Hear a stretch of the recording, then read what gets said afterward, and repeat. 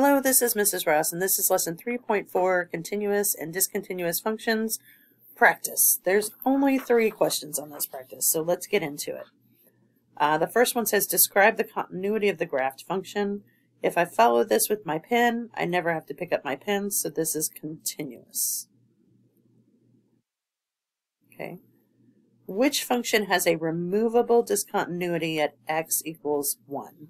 And it's the one that looks like this. So it has a circle here, but it is a parabola. Okay, why does it do that? Parabola that comes down here, and then on this side it kind of comes down here. It's the only one that looks like this. If we could remove that, this would be continuous. And then lastly, uh, it says describe the continuity of this cost function. So this is called a jump continuity